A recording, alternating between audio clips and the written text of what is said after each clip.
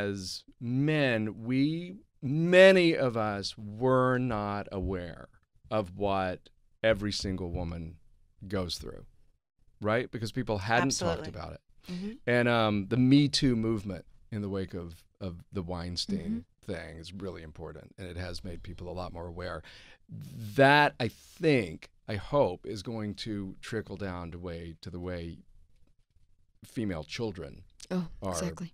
But like that awareness of this and what you're doing um, is, is it's a watershed moment where Yeah. there's I think there is a greater sensitivity Mm-hmm. and that to me is very encouraging. But I, I think um, one thing that uh, women, people forget about women, hell hath no fury like a woman scorned. Um, when we band together, the voice isn't going to die.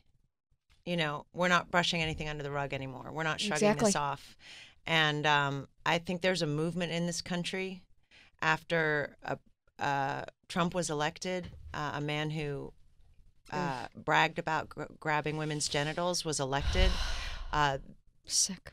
the the movement that's happening quietly but strong and determined um, and it will be effective and it's going to be big and i think that the this is just on the surface right now we haven't even begun